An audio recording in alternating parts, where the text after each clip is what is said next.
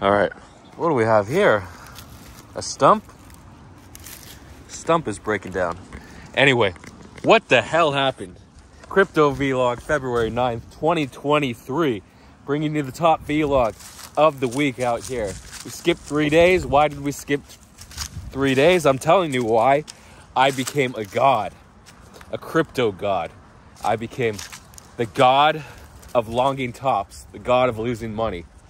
How did I do it? Well, I I contracted something called the Comfy Curse. If you don't know who Comfy is, uh, then you're not in the crypto insider groups. Comfy is in every insider group in Discord. Anyway, so the Comfy Curse is when your TP, your target, is one to five percent away. Instead of just market selling when it looks like it, the price action has topped or the momentum's gone, then you get the retest and you don't sell because you're still one to five percent away. You hold. You take a 20 to 50 percent drawdown. That's the comfy curse. And then I was anointed by the crypto gods, the god of longy tops and the god of losing money in crypto. So I only lost about 50,000, but this loss is your gain. An exciting $50,000 worth of vlogs. Sorry, I get up this hill, I'll be okay. So, uh, yeah, I only lost 50K. Chance I go down another 50K, so that would be 100K. So we'll bring the negative 100K P&L vlog. Maybe this week, I don't think, I don't know if we crash tomorrow. So we've already sort of bled out. It's funny, you zoom out and we're down like, alts down 10 or 20%. AI alts are down like 30%. And they like AGIX went crazy to 66.8 or 0668.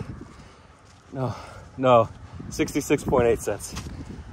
It started at like oh, 4 cents. So it had what a 30x pump.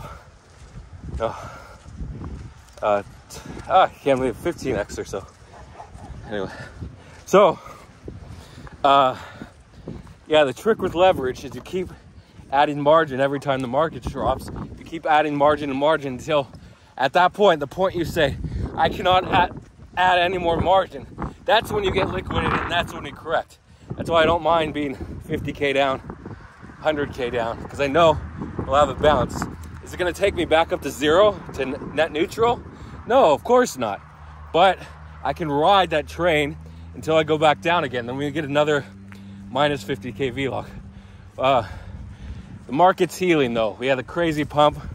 Bitcoin did three consecutive three days. So if you zoom out on the chart, you push the three day, the 3D, uh, you get the price action or the candles over three days. And we had nine straight days, not nine, three straight three day sequences candles of red market. So the market's red. What does that mean for you and me? Well, generally, most people are net long at all times. Very rarely do you have a market where people are net short. Uh, I think they do have those in the stock market. That's that's more of like a hedge market. You trade volatility and things like like the VIX and the inverse VIX. Anyway, so uh, but that's not that's not being short. It's just trading volatility.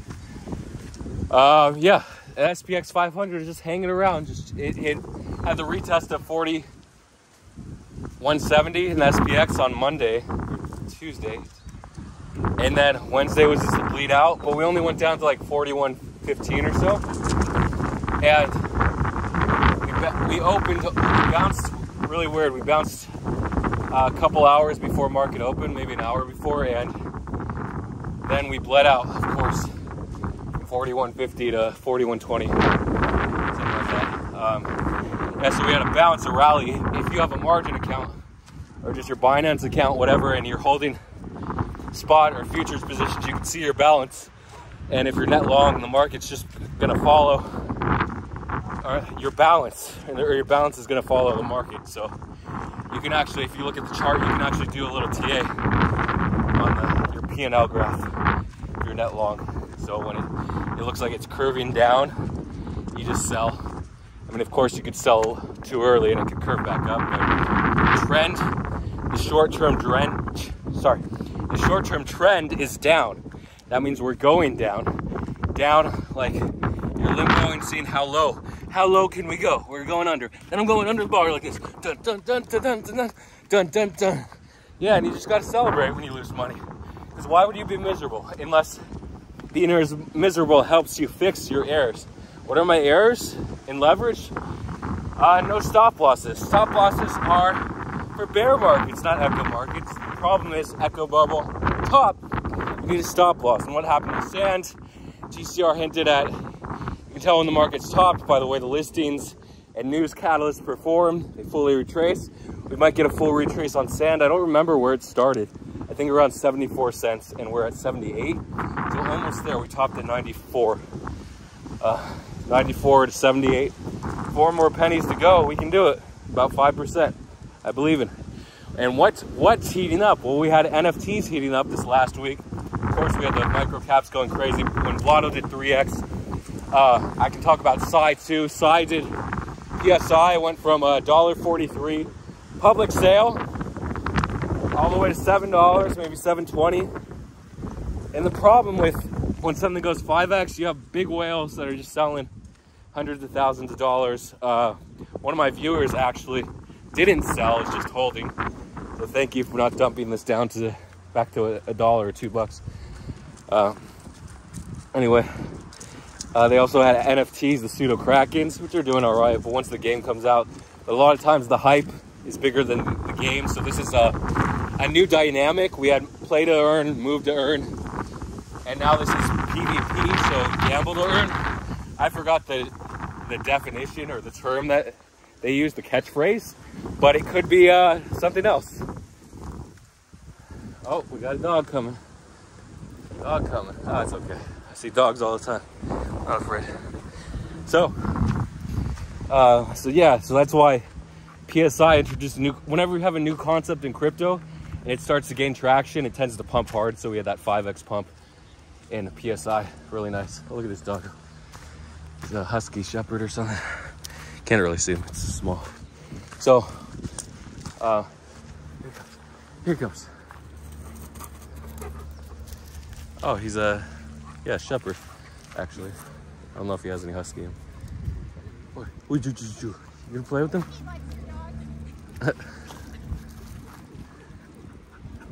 Zeus. Okay. Nope. Nope. Susie. Susie, come on. Come on, Zeus. Come on, bro. Okay. So, yeah, he's a little big, and I don't know if he's fixed or not. A lot of male dogs, even if they're neutered, they don't like dogs that aren't neutered. It's not. It's like a power thing, a beta alpha thing going on. Uh, like dude that's super muscular and buff, and he gets all the ladies. You say, oh, I hate that guy. It's kind of. It's called the tall poppy uh, phenomenon or whatever.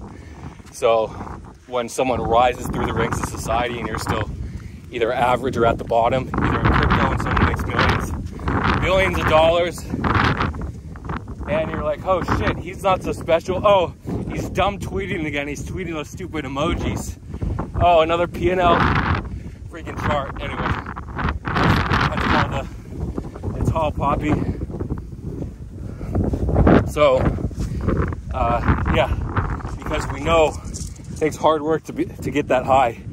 And all you can do, it takes no work to look up to someone. It's better than you can say, oh, they're not so tough. They're not so big. Oh, uh, Tom Brady and Gisele, they lost uh, half a billion, even though the number was closer to like 30 or 70 million on FTX when they wrecked. Because were investors in the actual stock or the private equity in FTX exchange, which was worthless. But they're coming back.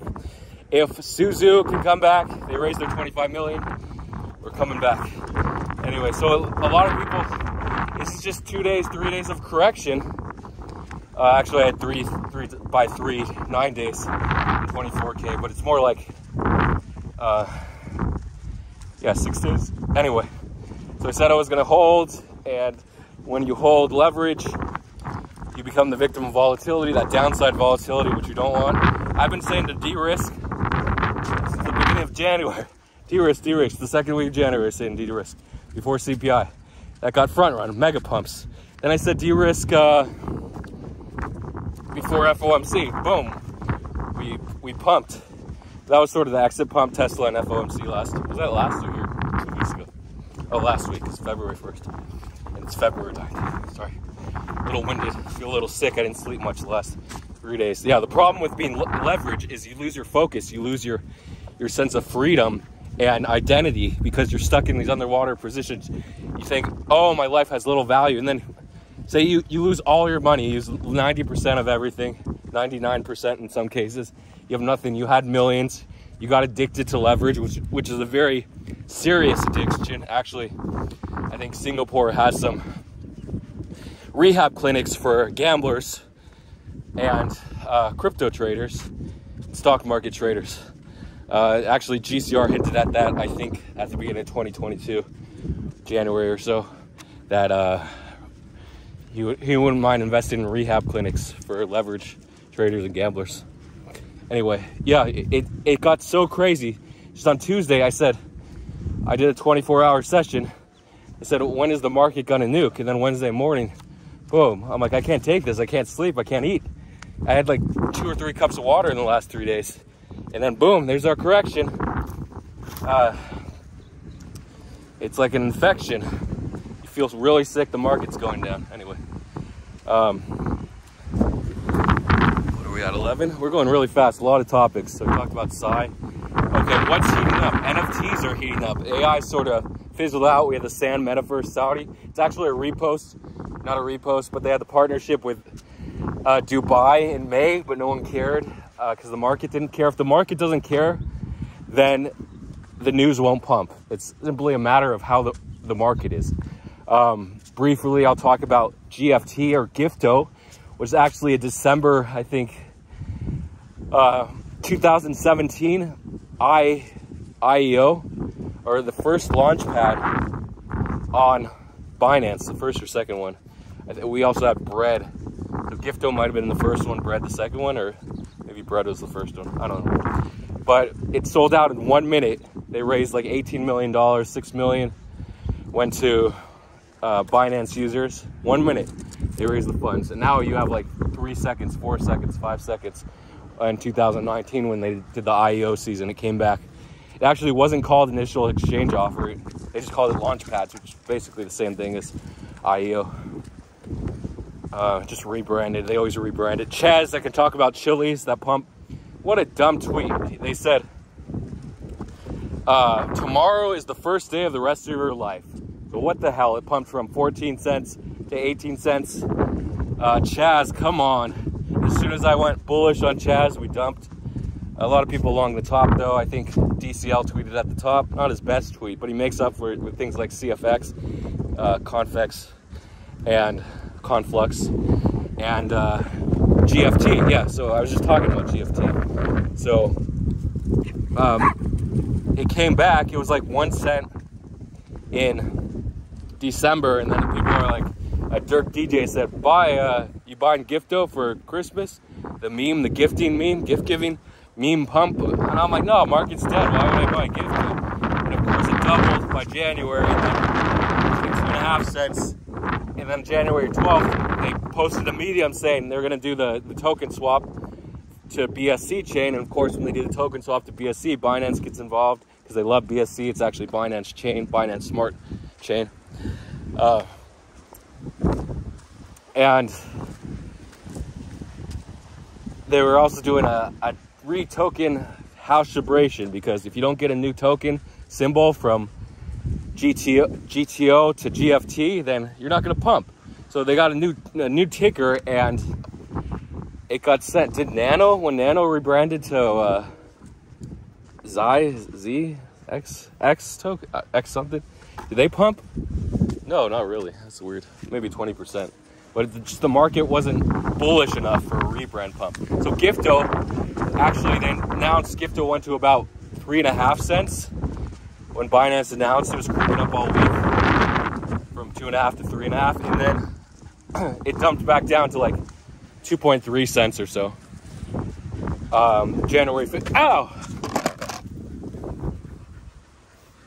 Sorry, that was like, I just stepped on a rock. What did I step on? Oh, yeah, this I think. It's actually piece of metal. Not good, luckily. I got a, might be due like six years ago. I had a uh, tetanus shot or Tdap as well. I had both. I had tetanus and then six months later I got the Tdap all in one bundle. So I'm pretty good against infections. It usually lasts about 10 years, but I just get a booster every five or so. so I'm due for a booster. And uh, the shock, like I saw a glass and then I stepped on something sharp. I thought it was glass. It didn't hurt that much. Uh, okay. Could, so Gifto got listed after bleeding out January 15th to February 4th, 5th. No, they announced on February 4th. And then the listing was February 7th. Mm, no, February 8th. in the early morning. And it got sent from. So Binance takes like the price when they froze the tokens, the initial graph, even though there's no liquidity there. So like 2.8 cents or 2.68 cents. It got sent all the way to 18 something cents. So crazy 6x, uh, no, 8x pump or so. Am I wrong there? Yeah, something like that. Um, no, two and a half, maybe 7x. Um, and just, how do you hold? How do you hold that long? Uh, DCL started scaling out at like 8 cents, from 8 cents to 16. So DCL, Dark Crypto, the lady made oh, probably over 100,000 if you have a crazy pump like go 7X. Um, yeah, I had a dream. This guy was undercover. He's like, I'm gonna show you the pumps in exchange for drugs. Crazy dreams, just when you're sick of, about to be liquidated and you fall asleep. You finally sleep knowing that you're either gonna get liquidated or the market's gonna bounce. We bounce a little, you fall asleep, and then you have some crazy dreams. So they were undercover though. They wanted me to buy the drugs. I knew they were undercover just to get in on the pumps. I didn't want that pump. Sorry. Okay, and the final thing is, wow, we're talking about everything in one part. Yeah, the Chaz pump tomorrow, and then they announced Chaz Point 2, and it went from 16 cents. Uh, Dreyfus, the bald man. There's actually another bald man I can talk about briefly. Uh, bald Brian. Oh, that's what I was talking about, Bald Brian. Um, I knew a guy on the radio named Bald Brian, and then we had Brian Armstrong who was bald, so that's why I got Strong Like Bull mixed up with Bald Brian. Uh, Bull still has a little bit of hair left. Uh, yeah, so uh, Dreyfus, bald, bald man number two, uh, said Chaz 2.0 is coming, the Ch Chaz chain, get ready, all this stuff, and then Korea is getting involved. They might have a Korean fan token, either gaming or sports. Sorry, buddy. And got sent from 16 to 18, and then that was the top, uh, 17.9 cents, and then back down about 15.5, where it is, no, 14.9, where it is now. Damn, we're bleeding out. Sand's bleeding out. Doge is bleeding out, 86 cents. 86 and a, oh, 8.6 cents. Crazy, all the, this bloodletting but we need it. The market needs to heal because that's what happened. The market healed from August to December, four months of healing, and then we had the echo. We had the July from the April heal. We had the April echo, but nothing was as big as the January echo we just had. So it's nice for a, I wouldn't mind three, three or four months bleed and then one month echo. I, that's a that's a nice trade-off, right? The market loves echoes, as GCR said.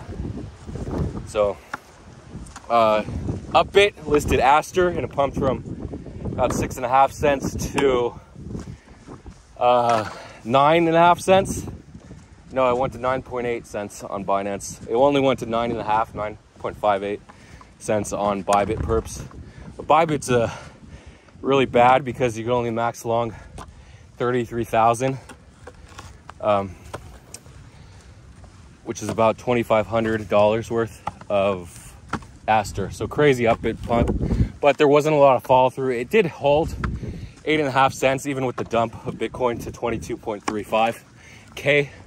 So that was nice. Uh, yesterday, Brian Armstrong said, hey, uh, guess what? Guess what? I'll tell you what. Uh, we got some news from the SEC that we're uh, no longer being able to offer staking products to our customers. But uh, very few, not very few, but uh, compared to the institutional KYC customers, it's just the retail, the individuals that aren't being allowed to use uh, Coinbase Staked ETH, CBETH. But what happened to Lido and LDS, Narrative, uh, we had FIS, FXS, and of course Chest Pumped with the Korean influencer and Tick, because uh, that's BSC uh, staked staking. So a lot of pumps. Anchor, of course, had that pump. Nice bounce to 20%, and then it bled out. Little, we do a little retracing when market's bad, but LDO went to 299, which is cool. Then I dumped to 240, and it popped again to 280. It dumped again, so around 250. So a lot of these pumps are retracing, which is showing you the market's healing, the market's a bit weak. It's tired of being bull, people are tired. But what happens when the market's tired? NFTs, ETH NFTs. But the problem is ETH NFTs are sort of played out already. I mean, we might have, we should, we should get volume there. Oh, look, the water. ETH NFTs. But, um, with that volume, it's it's not going to last too long. It has to come from the alt market people are tired of playing alts. Not going to have the mega pumps as liquidity flows from alt profits into because it flowed from Bitcoin profits into alt profits.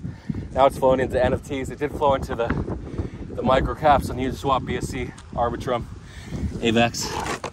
But now we got a little NFT pump. Pudgies just cannot break six ETH, whatever happens. And they had a record number of sales yesterday. I think around 300 Pudgies were sold, 2,500 ETH volumes. Crazy. But they're back down. Just can't stay above six ETH because what happened? Well, uh, I didn't talk about checks. Checks went actually hit 2.5 something ETH which is about 4K. And uh, if you don't check yourself, you get wrecked. No, you didn't buy checks at 1 ETH. Actually, gold bought it at 1 ETH. The mint was actually 0.0077 ETH, about uh, 8 or $9 at the time in January 4th. And in just a month, it only did 5,000x. Incredible. 5,000x. Doesn't that sound nice? Tell your uh, tell your kids, hey, guess what? This coin did, sorry, 500x. Doesn't sound as good as 5,000x. But 500x is good. X like Mex and checks. And, and Lex. Anyway. Um, back. So now what's going on? So people are like, oh, the single mint NFTs that pump like crazy that are all the same unlimited supply for 24 hours, blah, blah, blah. Now we had Kabosu, Kabosu, uh, which is the name of the Doge. I think he died. Did he die a few weeks ago? Maybe he didn't. He was really sick. Maybe he didn't die, but he is sick regardless. Uh, I think he died in December. Sure. So, uh, the creator of .og, .eth was the creator. It might be the Kabosu's mom or or not. And anyway, I, I bought a few of those. It's probably going to be over by the time. Just just whatever. The single mint era has shifted again. We had checks that sort of started the era pumps, but each additional NFT mint, single mint, unlimited supply for 24 hours, got lower and lower. And now Bitcoin NFTs. Finally, what we've all been waiting for, Bitcoin NFTs, mega pumps. So I'll start out with what the hell are Bitcoin NFTs? I don't know. But supposedly on the blockchain, you can uh, inscribe a picture or a font, characters, whatever, to create an image, basic image. I don't think it can be too elaborate. And it's clogging half of the Bitcoin blockchain, supposedly. So inscriptions, I don't know when they inscribed a few years ago, but they really picked up during this bubble. The last bubble, we had NFT, ETH NFTs that picked up and Sol NFTs. Basically, were the big ones. And now people are saying Bitcoin NFTs are coming, but you're like, hey, Bitcoin doesn't have NFTs. They're not a smart chain. How do you get NFTs? Well, two ways. You can wrap. Can do like a, a wrapper around the NFT and place it on the Bitcoin blockchain, which I think was what Blockstacks did or STX. a Satoshi, Satoshibles were the first NFTs to be wrapped and crossed from ETH to Bitcoin. And then we had native Bitcoin NFTs. Are they native? Uh, yeah, so the inscription on the blocks, the first 10,000 blocks to be inscribed or NFTs to be inscribed on the blockchain are worth like five or ten thousand dollars each. The big ones, one just sold for eighty-five thousand or ninety thousand uh, a couple days ago, and it's crazy because it was an animated uh, grayscale sort of GIF of the dots moving around, the white lines, something whatever. Just hype because it's new. So TradFi, the, the the number one CryptoKitties holder was 200,000 CryptoKitties. They made an NFT called TradFi in December, December 18th, I think. It took a while to mint out, 500. It was only 0.01 ETH. I got shielded. I avoided it because I just wasn't into dump NFTs. I'm like, what the hell's going on? And then two days ago, which would be Tuesday, it ran. They announced that everyone who holds a TradFi, one of the 500 supply, is gonna get a sub 10k inscription because the CryptoKitties guy has 500 or 1,000 of the sub 10k inscription. There's like ENS, the first